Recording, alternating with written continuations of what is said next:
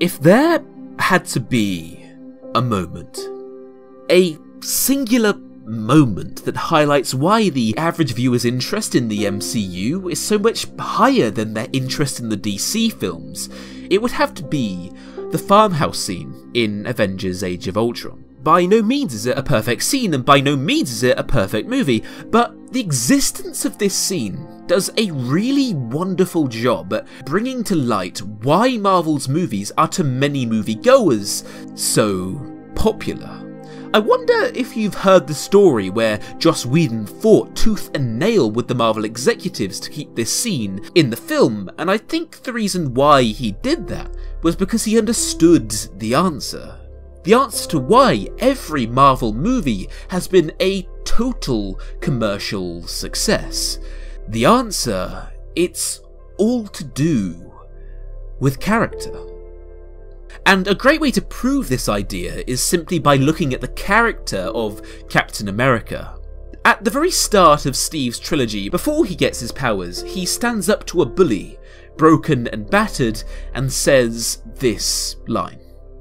You just don't know when to give up, do you? I want this all day. And at the very end of Civil War, when Steve is facing off against Iron Man, broken and battered, he says this line Stay down. Final warning.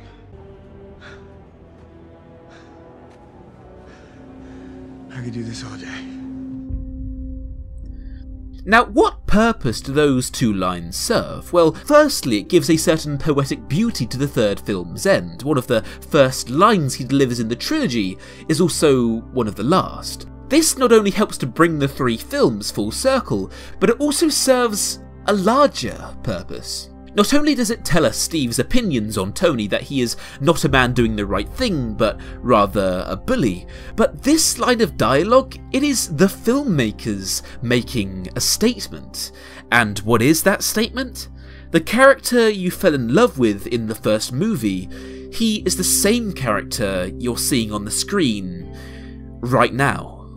Now, this isn't to suggest that Steve Rogers has no character arc because he does. He starts the series as an optimistic patriot ready to do his duty, and ends it a man beaten by reality, whose loyalty to the establishment he once fought so hard to protect has now all but entirely faded away. Really, the purpose of this line is to tell us that over the course of every adventure he's gone on, of everyone he's lost, and every time his values were tested, he has stayed true to himself throughout. And when we see Steve at the start of the first film, we can tell that he is the very same character whose story is still not yet over, and is still going through that turmoil. This keeps the audience invested, and it's for moments like this that many fans come back for more. And another example of how Marvel has made us care about their characters is with Iron Man. At the very start of the very first film, when confronted by a reporter about the atrocities he has enabled, he says this And what do you say to your other nickname, the Merchant of Death? That's not bad. This moment does a wonderful job at establishing his outlook. The fact he is so unfazed by this nickname shows how little he cares about other people, and the idea that he has enabled thousands of deaths is something he genuinely doesn't care about. But as the film and series progress, as he sees firsthand the terrible effect of his actions. He betters himself. He does a number of things to try and make amends, like shutting down the production of weapons at his company and refusing to sell his Iron Man suits. I'm being responsible. That's a new direction for me, for the company.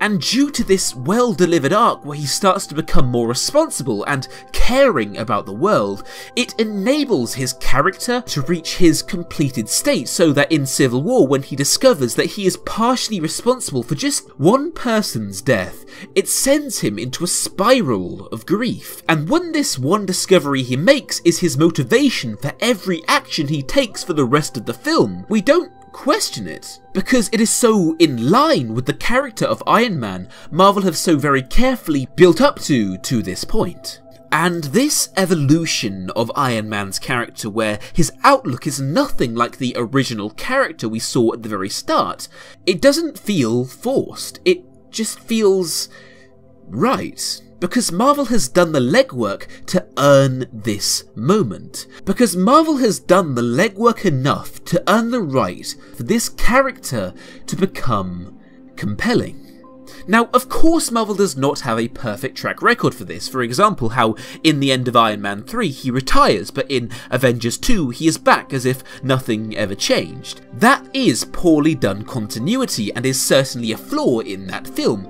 However, this right here is the reason why Marvel has been so successful. They will scarcely make a character say a line or make a decision when it is not totally consistent with the character they've built up in their prior movies.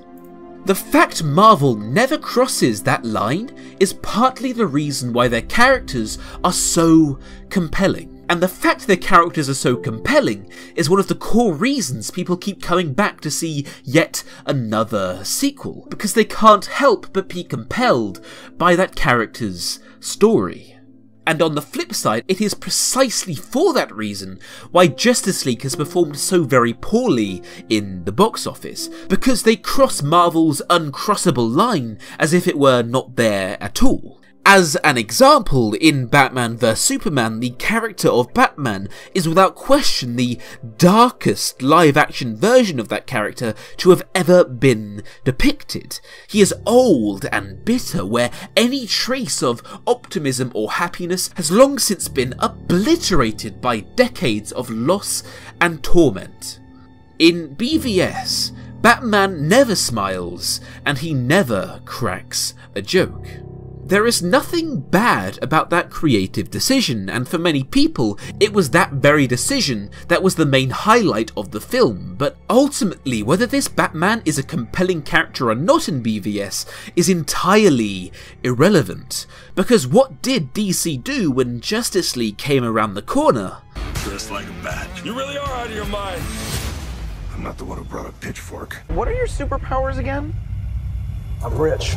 They took the brutally dark character of Ben Affleck's Batman and turned him into someone who delivers funny one-liners and to an extent is the comic relief of the movie. If in BVS this was the Batman who was delivered, from the beginning he was an incarnation who made one-liners and had a sense of humour, then those lines in Justice League would have been perfectly acceptable. However, that is not what they did. They established an incredibly dark character and then compromise that character in the very next film.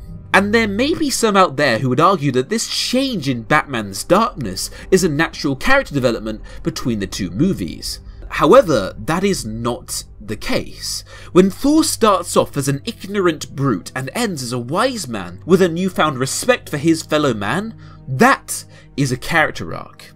When Captain America goes from an optimistic patriot to a man untrusting of his government, that is a character arc. When Iron Man goes from an egotistical playboy to a more humble man who cares deeply about doing the right thing, that is a character arc. The studio realised a number of people complained about BVS's dark tone, and as a result decided that Justice League would have far more humour and be lighter hearted. DC made a change to their character, not because it was a part of that character's natural development, but because they wanted to push forwards their idea of making the sequel more light-hearted. And this really underlines the two different approaches the two studios have to their characters. And ultimately, it explains why Marvel's characters are so beloved on screen and DC's characters in their films are so overwhelmingly uncompelling. Because Marvel treats their characters like human beings with their own personality, set of morals, and when planning out a compelling plot, they will always carefully consider character. Because if a character were to say a line or make a decision that fundamentally compromises who they are, it will make that character inconsistent and ultimately less compelling. This is a concept DC has largely failed to understand. They do not treat their characters as human beings, but rather devices that allow them to execute out their various ideas and plans. And if DC are faced with that theoretical decision to compromise an established character by making them do something inconsistent with who they are, they will do it gladly if it allows them to fulfill the agenda they have planned, which in Justice League's case was making the film more funny. I think this is also the reason why Wonder Woman and Man of Steel are considered by many to be the DCEU's two best films to date, because they give us what all of their other films have failed to have. Compelling characterization. The fundamental problem with BVS was that before the first line of the script was written, the men in charge had a clear idea in their heads. The film is about Batman fighting Superman, and by the end, they have to be good friends and pave the way for the Justice League. Everything else was subservient to building towards that moment of the fight. As a result, the audience feels that. All you had to do is look at Superman's motivations to realise that that is exactly the case. His motivation is his mother is being held hostage and that she will be killed if he doesn't fight Batman. Not because of any overwhelming internal conflict to do with his own personal beliefs. What really is quite the testament to this point is the fact that the creators try to give Superman an internal reason for why he fights Batman. In the theatrical cut, there was a deleted subplot where Superman investigates the Batman's victims and realises they often die in prison due to his brands. The problem was, the creators realised that if that was the core reason why Superman went to fight Batman, then ending with them being on good terms would have not worked, so they shoehorned in the fact that his mother was being held hostage. The writers had a checklist of moments they wanted to build up to, and as a result, nothing else mattered. The character's motivations and consistency, all of that was warped to serve the master purpose of building towards those individual moments, and as a result, the characters come across as weak and uncompelling, because of course they are. When a writer is unwavering in how the plot progresses, it almost always results in their characters becoming uncompelling. Instead of giving their characters their motivations and then projecting from that how they should act in the film, which is what any good writer who wants to write compelling characters should do, DC decides what the characters are going to do and then from that reverse engineer their motivations. As a result, the average moviegoer does not want to go and see the sequel, because how can the audience be expected to want to see more of a character when DC have failed to make that character compelling in the first place? It is not just a likelihood so much as it is a cold hard fact that Avengers Infinity War will be one of the highest grossing films of all time and the main reason why is because Marvel Studios have worked their asses off bringing to life a wide cast of rich and compelling characters, while DC has not.